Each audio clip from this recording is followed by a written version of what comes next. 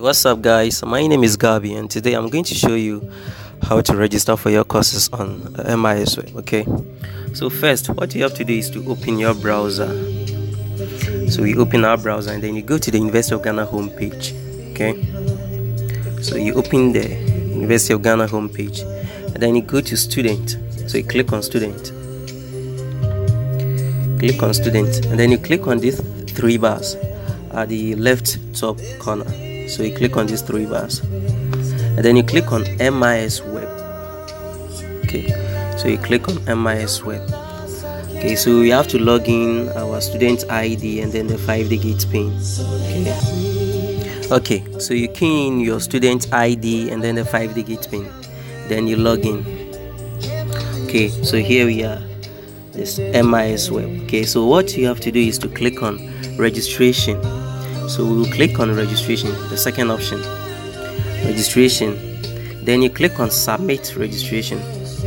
Just below uh, rules and regulations. So submit registration. Okay. Okay so here we are. So you click on part 3 okay? In the blue ink part 3 and then you click on register for this qualification register for this qualification okay? Okay then you click on save and continue. So here second semester level 200 so you click on save and continue.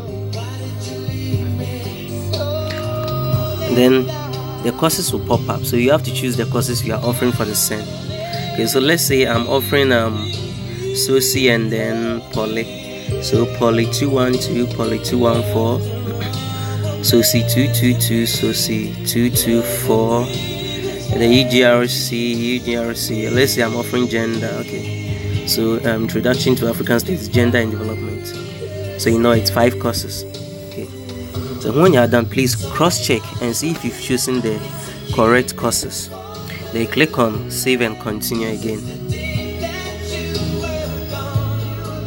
Okay, so save and continue so these are the courses you are registering for. Okay.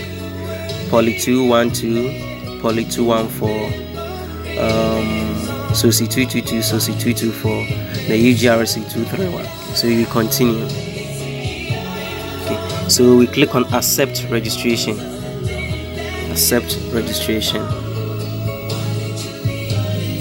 Accept registration. Okay.